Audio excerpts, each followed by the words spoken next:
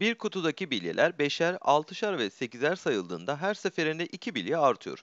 Bu kutudaki bilye sayısı 500'den az olduğuna göre kutuda en fazla kaç bilye vardır?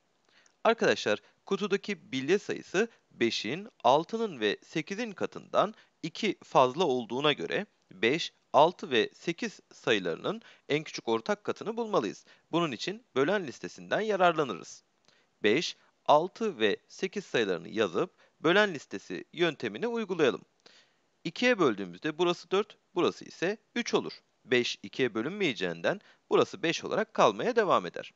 Tekrar 2'ye böldüğümüzde burası 2, burası 3 ve burası 5 olarak yazılır. Bir daha 2'ye böldüğümüzde burası 1 olur ve diğerleri değişmez. Şimdi 3'e bölelim. 3'e böldüğümüzde burası 1 olur ve 5 3'e bölünmediğinden aynen yazılır. Ve son olarak 5'e böldüğümüzde burası da 1 olur. 5, 6 ve 8 sayılarının en küçük ortak katı, bölen listesinin sağ tarafında bulunan işaretlediğimiz sayıların çarpımıdır. Yani 2 üssü 3 çarpı 3 üssü 1 çarpı 5 üssü 1'dir. 2 üssü 3 8'dir. 8 çarpı 5 40, 40 çarpı 3 120 olduğundan 5, 6 ve 8 sayılarının en küçük ortak katı bir başka deyişle ekoku 120'dir.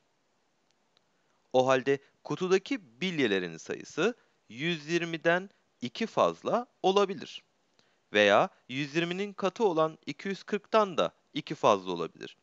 Aynı şekilde 360, 480, 600 gibi 120'nin katlarından 2 fazladır.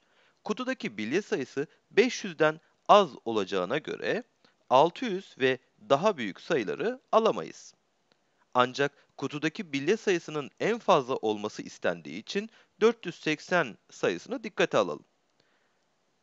Kutudaki bilyeler 5'in, 6'nın ve 8'in katından 2 fazla olduğuna göre 480'den de 2 fazladır. Yani 480 artı 2, 482'dir. Bu durumda doğru cevap A seçeneğidir.